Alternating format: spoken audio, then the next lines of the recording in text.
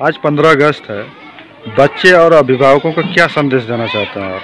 देखिए, सबसे पहले तो मैं पूरे देशवासियों को मैं इस स्वतंत्रता दिवस की हार्दिक शुभकामनाएँ बधाई देता हूँ कि आज हमारा देश, आज ही के दिन जो हमारा देश आज़ाद हुआ था, हमें इस आज़ादी को बना के रखनी है और एक बेहतर समाज जो समता, स्वतंत्रता, बंधुत्व पे आधारित समाज का निर्माण होता है, वास्तव में सच्ची आज़ादी का यही मतलब है और इसे हमें बचा के रखने की ज़रूरत है।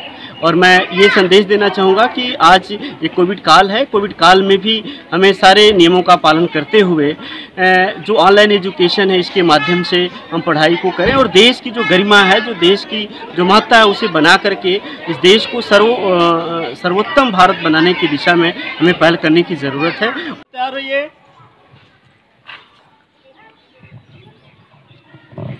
राष्ट्रगान